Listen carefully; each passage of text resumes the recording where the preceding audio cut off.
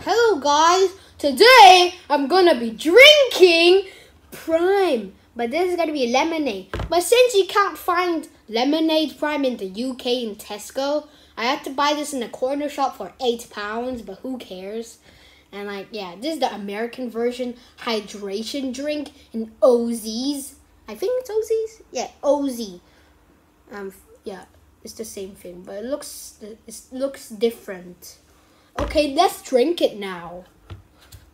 And see if it's good or disgusting. Ah. Okay. First, it looks like Meta Moon and Ice Pop. But I thought it was yellow. I thought yellow. Okay, let's smell it first. Okay, it smells it smells like medicine, but it still smells better than Ice Pop and Meta Moon. But it still smells like medicine. Now let's drink it. Mmm, it's pretty good. It's pretty good. It's okay. Second place. Second place. Strawberry watermelon. First place. Let me let me finish it.